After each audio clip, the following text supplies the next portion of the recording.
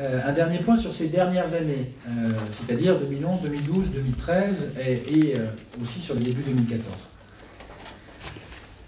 Aujourd'hui, la ville est donc l'endettement a baissé, c'est ce qu'on nous, ce dit, de 4,2 millions d'euros.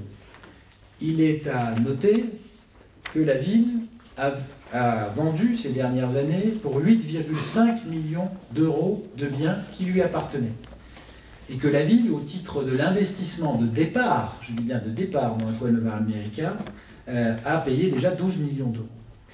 Euh, le solde est donc de 16,3 millions d'euros d'appauvrissement pour la ville, 7,8 millions d'euros de dettes supplémentaires et 8,5 millions d'euros d'actifs en moins.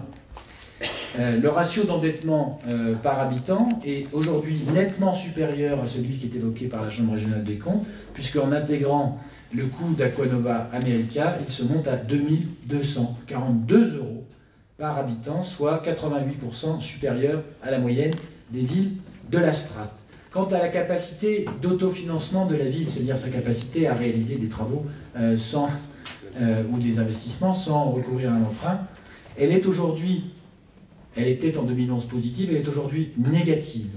En 2013, il y avait donc 1,2 million d'excédents, mais la réduction d'impôt de 5% votée euh, par euh, la municipalité précédente pour la première fois depuis de longues années représente un coût d'un peu plus de 700 000 euros.